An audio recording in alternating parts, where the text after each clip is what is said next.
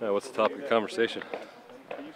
You guys are on back-to-back wins. Um, how big was it to have three games in eight days, be able to pick up those points? Uh, it, it was massive for sure. Uh, they weren't the prettiest of wins, but nobody looks back and says uh, anything about that when you get three points. Uh, so, you know, I think we're in a, in a good place definitely um, to pick up those six points, and looking forward to Saturday.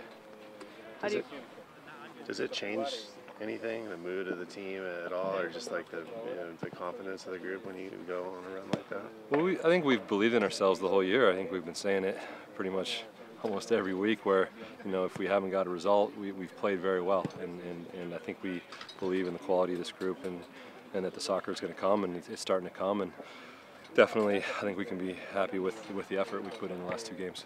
Well, you can believe all you want, but uh, until you get results to reinforce that belief, it, starts to be shallow, right? So I think um, we've never lost confidence. We've never lost faith in what we're doing.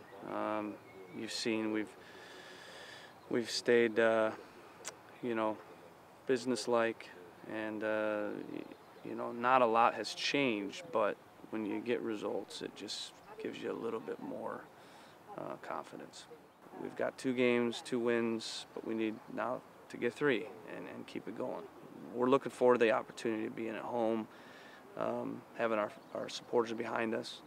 Um, month of June is a big month because we're at home a lot, four or five. So it's a great opportunity to get points, um, great opportunity to gain more and more momentum and, and shoot up the table.